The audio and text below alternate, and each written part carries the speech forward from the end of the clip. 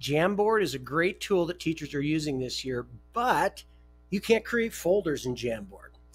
This tutorial is going to show you how to make up for the lack of folders in Jamboard. So I've got Jamboard pulled up right here. We're going to make a folder in the bookmarks bar of Google Chrome. Okay, so watch as I do it here.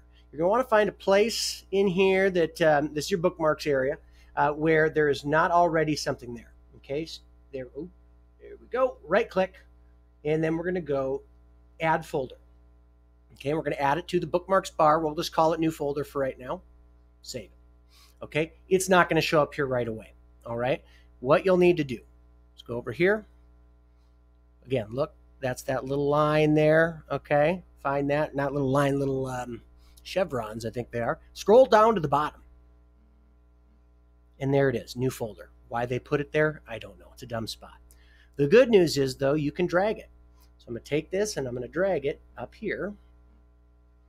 All right. Now let's name this folder. Let's right click, click rename. We'll call it Jamboards.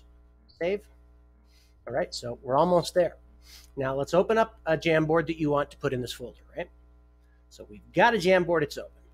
How do we save this Jamboard to? This folder here, find the lock. Find the lock, drag it down into Jamboard, let go. Now it's in there. Okay.